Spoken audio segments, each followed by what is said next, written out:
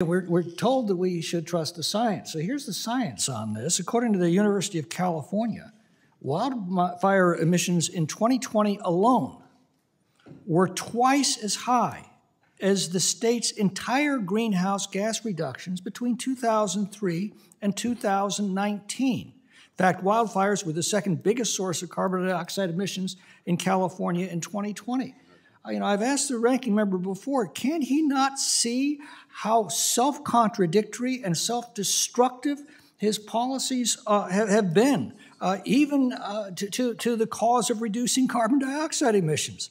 Nearly 1.8 billion tons of carbon dioxide were released due to forest fires just in 2021 alone. That's nearly three times the projected reductions in 2030 based on the Inflation Reduction Act's claims, three times. Uh, Stephen Moore uh, uh, uh, summed it up this way Rather than shutting down American energy, forcing people to buy electric vehicles, holding 35 international climate change conferences, banning gas stoves and air conditioners, killing hundreds of thousands of cows, spending hundreds of billions of dollars on uneconomical wind and solar farms, imposing massive green taxes on the economy, and hitting the Great Reset on the world industrial economy, which would cause massive global poverty, why don't the politicians just devise a way to manage forests better? That's a very important question that I believe that this, this legislation answers. Uh, uh, uh, uh the uh, Wall Street Journal uh, just ran an article uh, called uh, That Smoke, Not Climate Change by Mary Anastasia O'Grady.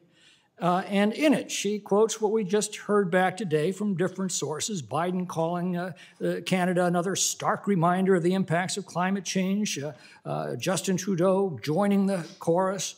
Um, and she writes this Their claims are bunk.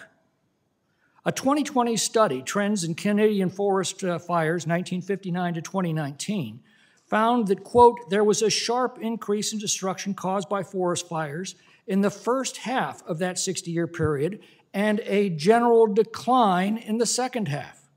The study, published by the Vancouver based Fraser Institute, reported that, uh, quote, the all time peak of fire activity in 1989 involved some 7.6 million hectares burned, while the most recent national data show only 1.8 million hect fires uh, burned in 2019. Fire activity varied significantly across the country. Whereas Alberta had its second highest fire loss in 2019, 1981 was its worst, uh, in the prairie provinces, peak fire activity occurred several decades ago.